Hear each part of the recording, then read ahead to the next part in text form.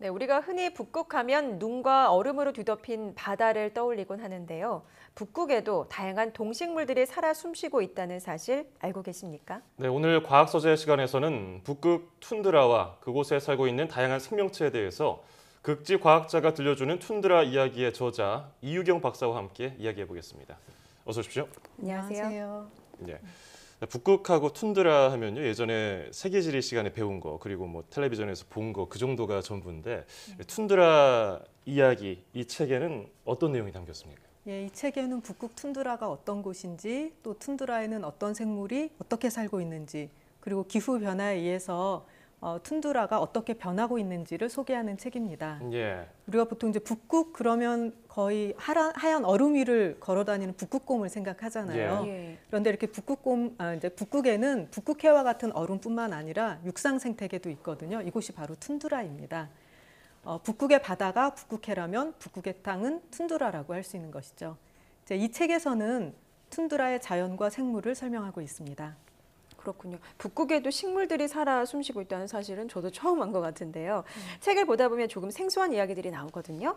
동토라거나 뭐 타이가 이런 단어들이 나오는데 좀 쉽게 설명을 해주실 수 있을까요? 아, 예. 어, 우선 이제 툰드라 지역은 나무가 자라지 않은 동토, 또 타이가 지역은 나무가 자라는 동토 이렇게 생각하시면 됩니다.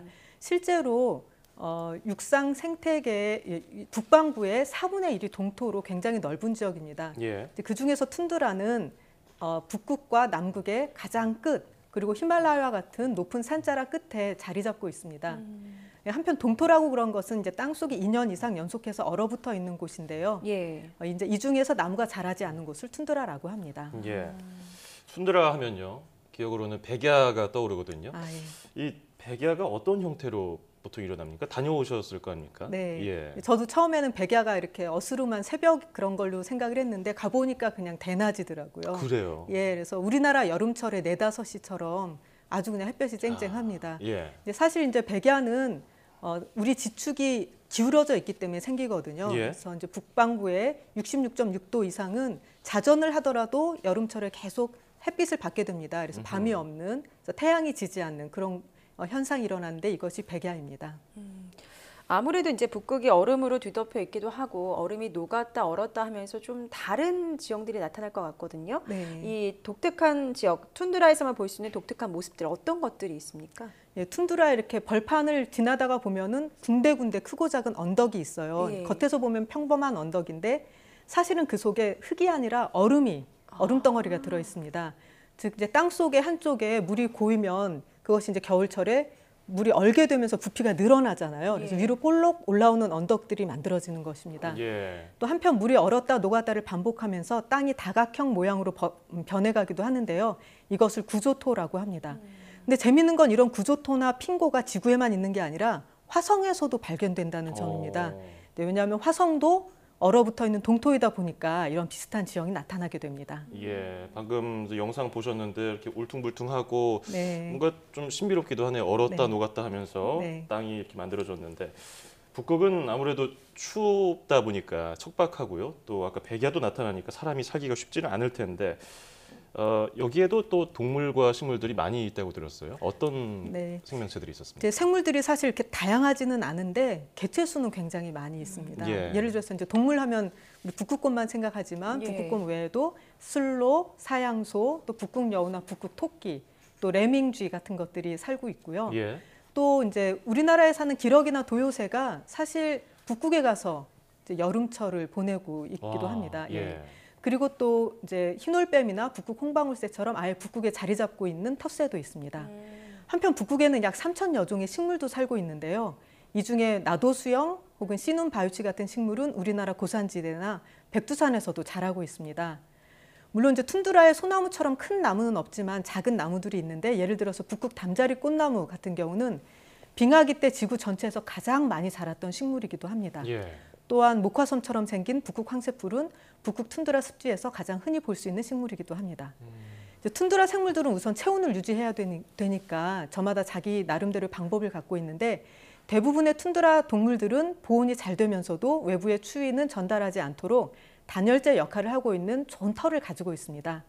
또또 식물의 경우도 털이 보송보송 나 있기도 하고 또 촘촘한데 한데 모여서 자라거나 아니면 땅에 아예 납작 업- 어, 붙어서 자라면서 추위로부터 자신을 보호합니다. 네, 뭐 추워서 정말 잘 못 살 것 같은데 식물은 3천여 종이 넘- 넘고 동물도 네. 참 여러 종류가 사는 것 같은데요. 동물 중에서 지이류를 먹이려 하는 동물들도 많다고 들었거든요. 뭐 바닷속 네. 해초 같기도 하고 식물 같기도 한데 이게 정확히 뭔가요? 아 이게 지유류는 원래 우리 곰팡이나 버섯이 속해 있는 진균류하고 광합성을 하는 미세조류가 함께 공생을 해, 공생을 하면서 살아가는 생물입니다. 예. 근데 특히 이제 술록이 이 지유류를 아주 잘 먹고요. 또 이 지유류는 아주 건조한 지역에서도 잘 견뎌서 심지어 몸에서 물이 다 빠져나가고 몸무게의 10%만 수분이 남아 있어도 살아남을 수가 있습니다. 예. 어, 툰드라 지역도 많이 가보신 걸로 제가 사전 인터뷰를 통해서 알고 있는데 네. 어, 저희가 기대하는 게 하얗고 좀 순할 것 같은 북극곰도 만날 수 있고 이런 네. 예쁜 꽃들도 볼 수 있는데 에피소드 같은 건 없었습니까? 아 사실 이제 북극곰이 그렇게 콜라나 맛있는 예쁜 예. 동물이 아니거든요. 그래요? 어, 위험한 동물이기 때문에 저희는 극지에 가면은 반드시 총기 훈련을 받습니다. 아. 그래서 총을 소지하지 않고는 밖으로 나갈 수가 없어요. 예. 그래서 매 2년마다 어, 총기 교육 또 안전 교육을 받고 있습니다. 예. 사실 이제 그 어려운 점들도 있는데 가장 어려운 점은 편의 시설이 없는 거죠. 예를 들어서 화장실, 아하. 전기 이런 것도 식당 이런 것이 없기 때문에 그렇군요. 저희가 이제 그런 점들은 좀 어려움이 있습니다. 어. 그리고 또 예상하지 못했던 어려움은 모기 때.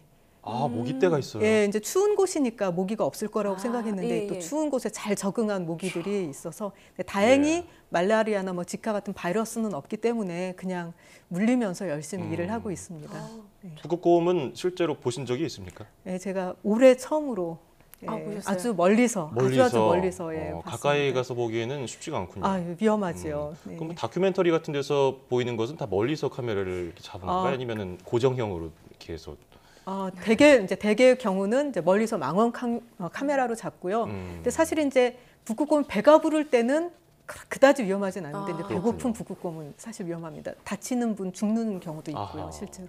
그렇군요. 네.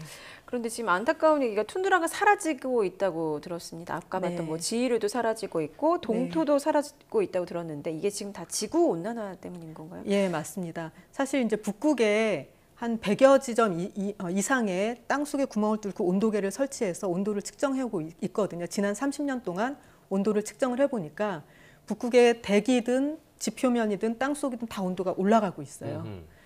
그래 어, 그리고 또 이제 아래쪽에서는 타이가 식물들이 이렇게 따뜻하다 보니까 타이가 식물들이 점점 북상을 하고 있고 또 북극해 면한 그 곳 같은 경우에는 해수면이 상승하고 또 동토가 높다 보니까 계속 이 해안선이 무너져 내리면서 태- 툰드라가 위아래로 계속 좁아지고 있습니다. 그리고 또 툰드라에서는 동토가 녹으면서 갑자기 호수가 사라지거나. 호수가 생기거나 아니면 이제 도로나 철도가 유실이 되거나 이런 일들이 일어나고 있습니다. 예. 그리고 또 이제 눈이 좀 더 봄에 어, 봄에 일찍 녹고 가을에는 늦게 내리기 때문에 툰드라에 눈이 덮이는 기, 기간이 짧아지는데 이것도 사실 문제가 돼요. 왜냐하면 눈이 덮여 있으면 음. 햇빛을 반사를 하거든요. 그런 이제 지구의 냉장고 역할을 할 수가 있는데 눈이 녹으면서 햇빛을 또 흡수하기 때문에 오히려 지구 온난화를 가속화시킬 수 있습니다.